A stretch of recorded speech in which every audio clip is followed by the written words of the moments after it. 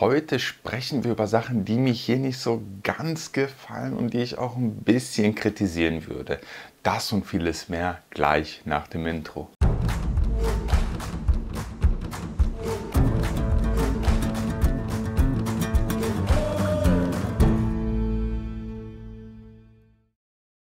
An erster Stelle möchte ich mich an der ganzen Community für die ganze Unterstützung bedanken. Fürs Liken der Videos, fürs Kommentieren und selbstverständlich auch fürs Zuschauen der Videos, die ich wöchentlich immer rausbringe. Auch möchte ich mich selbstverständlich positiv für die ganzen Kommentare aussprechen, die geschrieben werden. Ich habe in letzter Zeit auch Videos gemacht, die ein bisschen mehr in Richtung Politik gehen oder auch mehr Vergleiche zwischen Deutschland und Polen gemacht, wo ich dann auch manchmal von meiner Seite die eine oder die andere Seite manchmal leicht kritisiere. Und ich möchte hier an dieser Stelle auch nochmal meinen ganz großen Dank aussprechen an die ganze Community, an die deutsche und polnische Seite, wie gut die Menschen miteinander umgehen. Das ist für mich auch ein Zeichen einfach des Zusammenhalts, des Miteinander. Mich freut das dann auch wirklich sowas zu lesen. Da kommen nicht einfach irgendwelche plumpen Hasskommentare. Die Kritik, die kommt, die ist sehr sachlich. Damit kann man dann auch wirklich arbeiten.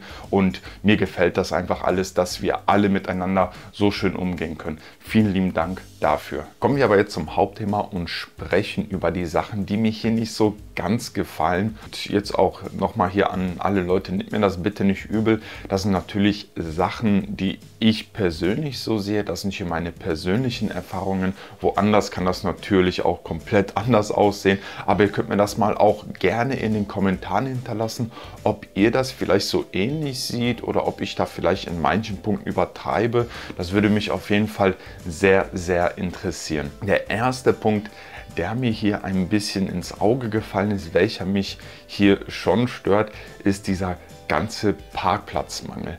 In den meisten Gebieten, wo Wohnblocks sind, hat man wirklich Probleme, einen Parkplatz zu finden. Ich finde, die Parkplätze, die sind hier sehr klein gebaut, dass man teilweise, wenn man parken möchte, einen Teil des Vorderteils vom Auto, also ich sage jetzt mal die Schnauze, teilweise auf dem Bürgersteig drauf ist und der Hinterteil des Wagens auf der Straße hinausragt. Also die Parkplätze, die sind hier wirklich kleiner. Zudem sind die auch noch wesentlich enger bebaut und noch eine Sache, die ich hier sehr kritisiere, die Leute muss ich leider so sagen, die parken aber auch nicht immer gerade, teilweise schief.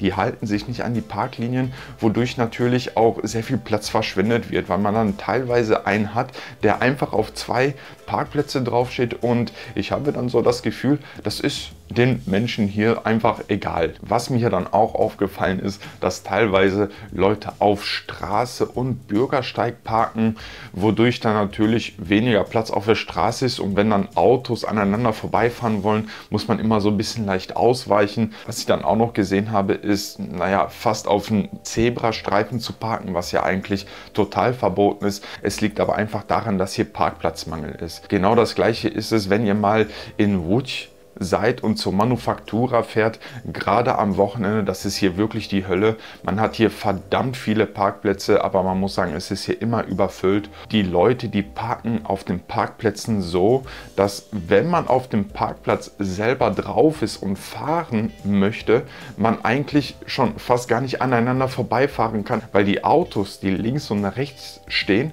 einfach entweder zu weit auf dem Parkplatz hinausragen oder schief parken, wodurch es dann problematisch ist, ist dann auch aneinander vorbeizufahren. Deswegen kann ich so sagen, wenn es um das Thema Parken geht, ist das hier so eine Sache, die mich hier schon ein bisschen stört. Kommen wir zum zweiten Punkt und sprechen über den Straßenverkehr.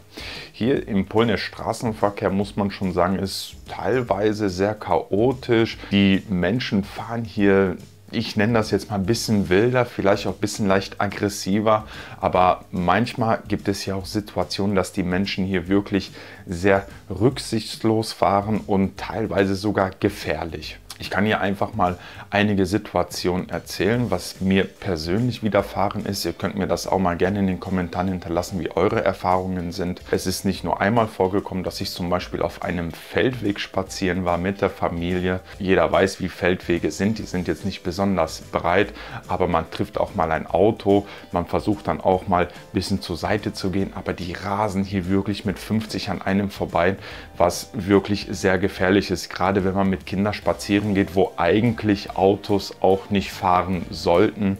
Und ich finde, das ist schon sehr, sehr gefährlich. Meine persönliche Meinung ist, dass man diesen Leuten auch auf jeden Fall den Führerschein wegnehmen sollte. Auch worauf man hier achten sollte, wenn man in Polen über den Zebrastreifen geht, dass auch das Auto wirklich anhält. Das hat folgenden Grund. Es wurde jetzt erstmal vor kurzem, ich denke vor drei, vor circa drei oder vier Jahren das Gesetz geändert, dass auch wirklich der Autofahrer sich wirklich vor dem Zebrastreifen anhalten muss, wenn Menschen drüber gehen wollten. Früher war hier so eine Gesetzeslücke. Erstmal, wenn die Person wirklich auf dem Zebrastreifen drauf ist, war der Autofahrer dann auch wirklich gezwungen anzuhalten, laut Gesetz. In Deutschland ist das ja ein bisschen anders. Zumindest wurde es mir so damals in der Fahrschule beigebracht. Wenn man nur schon erkennt, dass jemand Richtung Zebrastreifen geht, soll man schon anhalten. Ansonsten fällt man bei der Fahrprüfung durch. Natürlich sind mir auch lustige, teilweise kuriose Sachen zum Thema Straßenverkehr passiert. Zu einem kann ich mich noch ganz gut daran erinnern, als ich die ersten Male nach Polen gefahren bin, war ich in der 60er Zone und ich bin auch ein bisschen schneller gefahren. Also ich bin in der 60er Zone ungefähr 70 gefahren und ich hatte wirklich einen LKW hinter mir, der dann auch noch mit der Lichthupe gedrängt hat, dass ich noch schneller fahren soll. Das sind natürlich Sachen, die mich am Anfang sehr schockiert haben. Auch was mir hier schon sehr oft passiert ist, was ich sogar teilweise nicht verstehen kann, wenn ich schon von Weitem sehe, dass die Ampel rot wird, dann gebe ich kein Gas mehr, um erst an der Ampel zu sein. In der Regel lasse ich dann die Motorbremse laufen, aber ich habe dann wirklich schon Autofahrer gehabt und das nicht nur einmal, die wirklich 100 Meter vor einer roten Ampel mich noch überholt haben, um an erster Stelle an der roten Ampel zu stehen. Für mich nicht ganz verständlich, aber okay, das sind Sachen, da sage ich, naja, wenn er möchte, kann er gerne erster an der roten Ampel stehen, habe ich überhaupt gar kein Problem damit. Der dritte Punkt richtet sich mehr in Richtung Tierschutz und das ist hier auch eine Sache, die ich hier fast täglich sehe und was hier schon eigentlich fast zur Normalität gehört. Und das sind hier die Stachelhalsbänder für Hunde. Die sind mittlerweile in Deutschland schon seit einigen Jahren, wenn ich das richtig im Kopf habe, circa drei, vier Jahre schon verboten. Aber selbst damals, wo ich auch noch in Deutschland gelebt habe, hat man wirklich sporadisch und super selten Leute gesehen, die ihrem Hund ein Stachelhalsband aufgesetzt haben. Hier in Polen sehe ich das eigentlich täglich, dass Hunde hier mit Stachelhalsbänder rumlaufen. Wenn ich ehrlich bin, habe ich kein Verständnis dafür. Ich kann das auch nicht verstehen. Zudem auch noch bringen die Stachelhalsbänder nur am Anfang vielleicht den Effekt, später aber nicht weil sich einfach das Tier an den Schmerz gewöhnt, beziehungsweise auch die Haut nach einer Zeit dicker wird. Wenn sich ständig die Stacheln in den Hals reinbohren, wird das Tier irgendwann auch schmerzresistent. Für mich ist das wirklich eine Sache, ich kann das wirklich kein bisschen verstehen. Ich verstehe dieses ganze Prinzip nicht. Leute haben mir hier versucht zu erklären, dass die sogenannten Kampfhunde etwas im Kopf haben, dass die das brauchen, weil die aggressiv sind. Für mich ist ganz klar, wenn du nicht in der Lage bist, einen Hund auf normale Art und Weise zu erziehen, dann leg dir erst keinen Hund zu. Ich kann genauso gut einen Pitbull sanft machen, wie auch einen Pudel ganz aggressiv und das hat auch wirklich nichts mit der Rasse zu tun. Und deswegen ist der Punkt Stachelhalsband für mich etwas, was ich überhaupt nicht nachvollziehen. Bei der nächsten Sache möchte ich zwei Punkte gleichzeitig ansprechen, sprich Punkt 4 und Punkt 5. Fangen wir aber erstmal mit dem ersten Punkt an und zwar sind das hier die Baustellen. Ich finde, die Baustellen hier in Polen, die sind sehr unübersichtlich, sehr chaotisch. Ich habe manchmal das Gefühl, dass die einfach zum Beispiel, wenn man jetzt eine Straße irgendwie umbauen möchte, die einfach aufgerissen wird, man nicht als Autofahrer die Information kriegt, zum Beispiel, wo jetzt auch eine Umleitung ist. Teilweise habe ich das sogar selber erlebt, dass man dann auf eine Baustelle drauf zufährt. Umso näher man kommt, merkt man, ach, da ist irgendetwas. Und dann hat man wirklich so ungefähr 100 Meter, 150 Meter vorher ein Schild mit der Information, ja, hier ist Baustelle, aber ohne Umleitung oder sonstiges, was natürlich das Drumherumfahren jetzt etwas erschwert, gerade wenn man sich in dieser Gegend nicht auskennt. Der fünfte Punkt hat auch ein bisschen was mit dem Thema Baustelle zu tun, beziehungsweise wenn eine Baustelle ist, finde ich, dass dann hier die Wege nicht vorteilhaft für Fußgänger oder auch zum Beispiel Rollstuhlfahrer oder auch Menschen mit Kinderwagen äh, gebaut sind. Ihr könnt euch ja mal meinen Livestream angucken, den ich mal vor paar Monaten gemacht habe.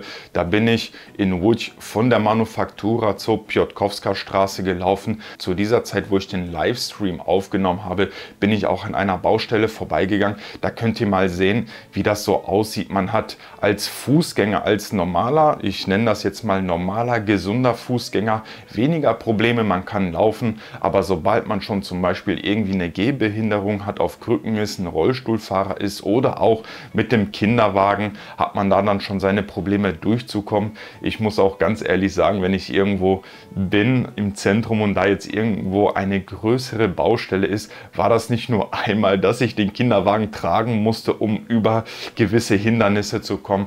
Also ich finde, das ist hier dann schon nicht vorteilhaft gemacht. Und wenn wir jetzt auch noch ein bisschen bei diesem Thema bleiben, ist mir hier auch selber sehr oft aufgefallen, dass zum Beispiel wenn jetzt zum Beispiel ein Zebrastreifen ist, dass der irgendwie nicht abgesenkt ist, was da natürlich auch wieder dem Rollstuhlfahrer Probleme macht. Manchmal habe ich hier einfach so das Gefühl, dass hier viele Sachen nicht behindertengerecht ist. Auch wenn man zum Beispiel jetzt einkaufen geht, habe ich das hier zumindest noch nie gesehen, dass es extra spezielle breitere Kassen gibt. Zum Beispiel aus Deutschland kennt man das ja, dass in sehr vielen Supermärkten auch zum Beispiel breitere Kassen sind für Menschen, die zum Beispiel einen breiteren Kinderwagen haben. Das sind Sachen, die mich hier so ein bisschen fehlen, dass einige Sachen nicht behindertengerecht oder jetzt zum Beispiel in meinem Fall kindergerecht sind, wenn man jetzt mit einem Kinderwagen durchfahren möchte. Den sechsten Punkt, den ich hier anspreche, richtet sich eigentlich jetzt nur an Biedronka, weil ich das da jetzt auch nur so im Biedronka gesehen habe. Aber das ist die Paletten, die einfach mitten im Gang stehen. Und es ist nicht so, dass die Paletten nur im Gang stehen, wenn die die Ware einräumen möchten in die Regale. Das ist wirklich so, die stellen die Paletten mitten im Gang und die bleiben da. Und da ist dann auch Ware und die, da, davon kann man sich auch bedienen. Und ja, die bleibt einfach da so lange stehen, bis die leer ist. Das ist eine Sache, die mich total stört. Wie auch schon gerade erwähnt, mit dem Kinderwagen ist das dann immer problematischer, dann da vorbeizugehen man muss sagen, die Bierdronker-Geschäfte, die wurden ja jetzt schon mittlerweile, zumindest die meisten Bierdronker-Geschäfte, die ich kenne, wurden ja jetzt schon umgebaut. Früher die Bierdronker, wie die jetzt zum Beispiel noch vor drei Jahren waren, da war es meiner Meinung nach noch schlimmer. Da war alles noch enger bebaut. Es ist jetzt schon ein bisschen mehr Platz, aber ich finde, da sollte sich Bierdronker mal ein bisschen Gedanken dazu machen. Ich muss auch ganz ehrlich zugeben, dass ich immer weniger in den Bierdronker gehe. Die Bierdronker hier, die gefallen mir nicht mehr so, so wie es am Anfang war. Ich finde, die sind teilweise günstiger wie andere Geschäfte, das ist richtig, da braucht man gar nicht darüber diskutieren. Aber auch wenn es um Obst und Gemüse geht, Qualität der Ware ist auch nicht immer so die beste. Zumindest ist das so mein Eindruck. Ich kaufe sowieso überwiegend mein Gemüse auf dem Markt und wenn ich es mal nicht auf dem Markt kaufe, dann gehe ich dann schon in den Lidl rein, denn meiner Meinung nach ist dort einfach das Gemüse besser. Kommen wir jetzt zum siebten Punkt und sprechen über plötzliche Stromausfälle oder das Abschalten von Wasser. Ich muss sagen, seitdem ich im Pun lebe, hatte ich schon mehrmals einfach mal einen Stromausfall. Also wirklich so, dass alles abgeschaltet war, von jetzt auf gleich, ohne Vorwarnung, ohne gar nichts. Dann fehlt hier einem der Strom für circa 30 Minuten. Sowas kann hier so einmal im Jahr vorkommen, ist jetzt nicht relativ oft. Aber wenn ich das jetzt mal mit Deutschland vergleiche, wo ich über 30 Jahre gelebt habe, hatte ich nicht einmal einen kompletten Stromausfall. Ich kann mich hier nur erinnern, als hier zum ersten Mal der Stromausfall war. Ich war total schockiert, was jetzt los war. Dann bin ich auch zu meiner Frau gegangen, habe sie gefragt, was passiert ist und sie hat gesagt, ach, Stromausfall. Sie hat das so locker gesagt, so selbstverständlich. Und ich habe sie dann gefragt, ob sowas hier öfters vorkommt. Und sie hat gesagt, ja, das kann mal passieren. Ne? Und das sind hier Sachen, ähm, die kannte ich vorher nicht. Natürlich, ich nehme das mit einem Schmunzeln im Gesicht. Aber das ist natürlich so eine Sache, die mich am Anfang total verwirrt hat, auch schockiert hat, dass einfach ohne Vorwarnung hier einfach mal der Strom abgeschaltet wird. Das gleiche gilt auch mit den plötzlichen Wasserausfall. Ich kann sagen, dass ich in Deutschland das einmal in über 30 Jahren hatte, dass nicht nach Zeittermin das Wasser rechtzeitig eingeschaltet wurde, wo danach natürlich die Einwohner Theater gemacht haben, haben die sogar noch auf dem Freitagabend jemanden rausgeschickt, der das dann korrigiert. Das war ein Fehler von der Firma selber, die haben es einfach vergessen einzuschalten. Hier in Polen habe ich das in dieser kurzen Zeit schon wirklich fünf, sechs Mal erlebt, dass mitten beim Duschen einfach das Wasser abgestellt wurde wurde, plötzlich kein warmes Wasser war oder sonst irgendetwas und man natürlich im ersten Moment verwirrt ist, was jetzt los ist. Aber das sind Sachen, die hier passieren können. Was ich hier auch schon erlebt habe, ist, dass zum Beispiel unten ein Zettel an der Haustür dran steht, dass zum Beispiel von 8 Uhr bis 16 Uhr das Wasser abgestellt ist. Man soll das Wasser nicht benutzen bzw. für Vorrat sorgen. Das Problem bei der Sache ist, dass man sich hier nicht immer an die Termine hält und ich muss auch sagen, dass ich hier dreimal schon die Situation hatte, dass die geschrieben haben, die schalten das Wasser um 16 Uhr an und die haben es tatsächlich wieder erst am nächsten Morgen um 12 Uhr ungefähr wieder eingeschaltet. Man muss auch sagen, in diesem Fall, wenn sich das dann auch wirklich in die Länge zieht, hat dann die Wohnungsgesellschaft auch Wagen rausgestellt, wo man sich danach auch selber das Wasser abpumpen konnte. Das waren jetzt meine Dinge, die mich hier nicht so ganz passen oder teilweise stören. Ich bin aber wirklich auf deine Erfahrungen gespannt. Die kannst du mir sehr gerne unten in den Kommentaren hinterlassen. Hier oben werden jetzt gleich Videos aufleuchten, die dich eventuell auch interessieren könnten. Wenn du die Zeit und Lust hast, kannst du sie dir gerne anschauen. Ansonsten danke ich dir wirklich vom ganzen Herzen, dass du dir dieses Video bis zum Ende angeschaut hast. Damit unterstützt du mich und meine Arbeit wirklich sehr. Vielen lieben Dank dafür. Bleib gesund und bis zum nächsten Mal. Ciao.